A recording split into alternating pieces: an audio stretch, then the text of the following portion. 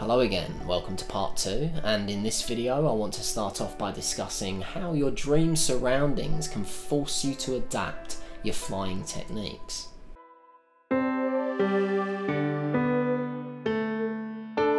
So imagine I'm dreaming right now. Here I am in this room. Not much space to do the run up and kick off technique, is there? So what do I do? Well, like I said in the previous video, I adapt. I change my technique. As always, whatever feels right for you is what you should do, but this is what feels right for me. I hop up. I can do this pretty much in any surroundings, however enclosed. Then I gently glide to either my right or my left, doesn't matter which side. Then, once on my side, I use swimming motions to navigate. So the understanding here is that there's not necessarily always a one size fits all answer to flying techniques. Sometimes you've got to mix it up. Okay, and that's one example of how I mix it up. But regardless of my surroundings, the key to flying in dreams for me is to not overthink it, to not overcomplicate it. It is what it is, just do it. As soon as I start doubting myself, or as soon as I start fearing what I'm about to do, I'll usually fail. I need to focus, but not over focus. I need to embrace the thrill, but not the fear. I need to become the balance and believe. And then, usually, more often than not, I can fly. But you should also know it's not always as simple as either a successful flight or a failed flight. It's not always that black and white. Sometimes I enter a flying limbo state, a state that I like to call the wait. That's a W E I G H T, not a W A I T. That's because in this state, it feels as if there's an awful lot of weight on my back. I can still fly in this state, sort of, but it's hard, real hard. And this is usually due to the fact I'm overthinking it, or that I'm panicked by a perceived emergency in a non lucid state. For example, a recurring dream sign for me is that I'm on the run, usually from someone, a hunter, if you will. I'm being hunted.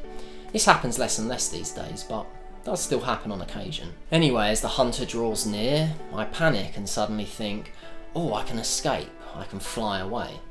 And so I use my run up and kick off technique.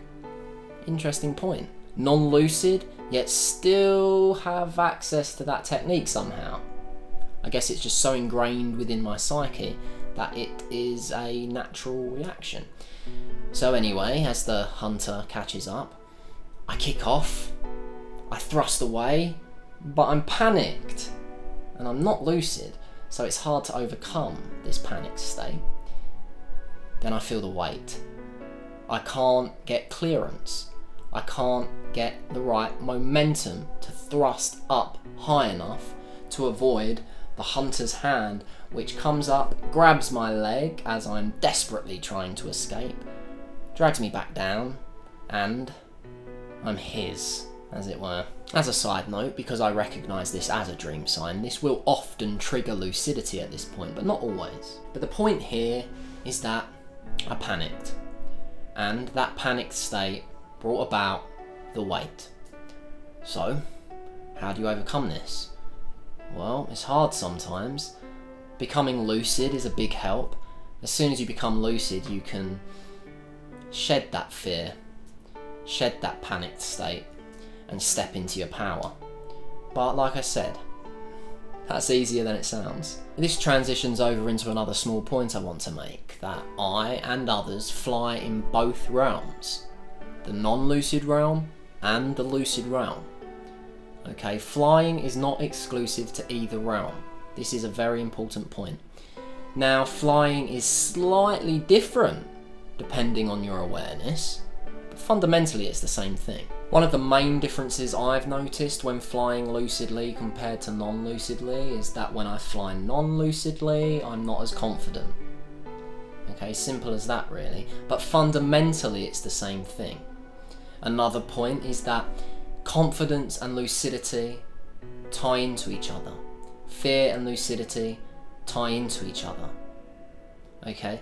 Naturally, if you affect one, you affect the other. The more confident you are, the more lucid you are. The more lucid you are, the more confident you are. In the third and final video, I'm going to discuss a more extreme example of the differences I've noticed whilst flying lucidly and non-lucidly. So tune back for that, and until then, sleep well, and see you soon.